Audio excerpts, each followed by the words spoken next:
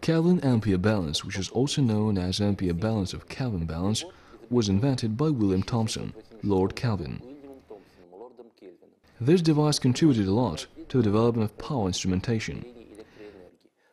In 1894, two specially designed and calibrated devices were set as reference measurement standards. With the help of Kelvin balance, an ampere was defined as follows. The standard electric current of 1 ampere is a current passing through a wire coil, which is an integral part of the reference ampere balance per 1 second. According to a definition of a current strength unit, reference is equal to exchange force between two straight conductors of infinite length and negligible circular cross-section placed 1 meter apart. The current strength of 1 ampere produces the exchange force of 2 multiplied by 10 in minus 7 degree newtons per each meter length.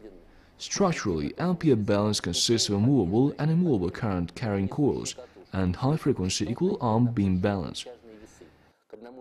A movable coil is connected to one arm, while a balance pan with counterweights is attached to the other.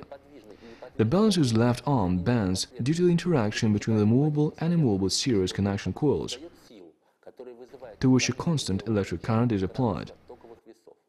This force is balanced by counterweights placed on the first balancer's pan.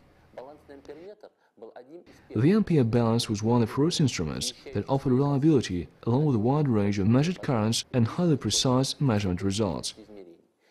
It is still used in laboratory researches.